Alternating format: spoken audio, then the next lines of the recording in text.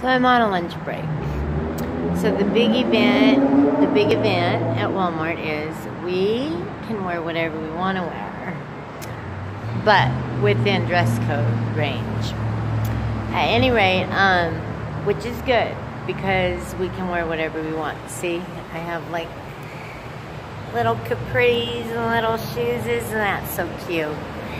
Anyway, um, but I still wear my white shirt or my blue shirt. There's a car that's going to be really loud right now. They like to make all the alarms go off. This is what it looks like. It's the parking area. Now listen, I don't know if you'll be able to hear it, but they do this every night. It's like totally annoying. I think it's university college kids because as soon as they go home in the summer, it kind of stops. It doesn't happen as much. But he's he's gearing up, ready to go. He's going to be making all the alarms go off in just a minute. If he doesn't, well, that'll be good. Anyway, I wanted to say that, you know, customers are always bashing Walmart. Well, let me tell you, huh, Walmart customers are definitely highly, highly annoying. Um, we do have our good customers, don't get me wrong but the ones that are really annoying are not very smart.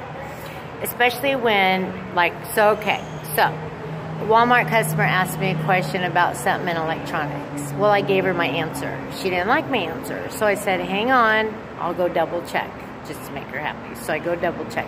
Then I come back and then she says, um, she still didn't like that answer. So then she wanted to talk to a guy. So I said, okay. So I went and I said, the guy's going to say the same thing I told you, but if you want to hear it from him, that's just fine, but the answer is going to be the same. So anyway, I go and I get Ryan, and I so Ryan comes out and he says the exact same thing to the lady as I told her the first time, and then I had to go back and ask Ryan. So I told her that the second time, and then the third time she had to hear it from Ryan, but it was the same thing. So that is not a very intelligent person. You don't even have to be intelligent, but she wasn't very smart. But anyway, I think she made herself look dumb.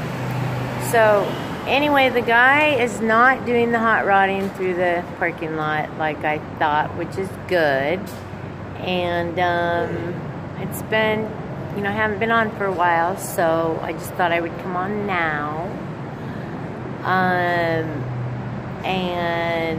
I guess that's it. There's not much to talk about. I mean, I'm at work. Here it is. Uh, this is our little smoking area, bus stop. Dun, dun, dun. It's really dark and gloomy. And then I'm alone. Sometimes it's nice to be alone, and then sometimes it's not. Like today, I wish other people were here with me. But anyway, have a very nice evening. And um, I know as soon as I turn this off, then the guy's going to make all the alarms go off. I just kind of wanted the other people that work here to hear it because we always hear it together. Okay, bye.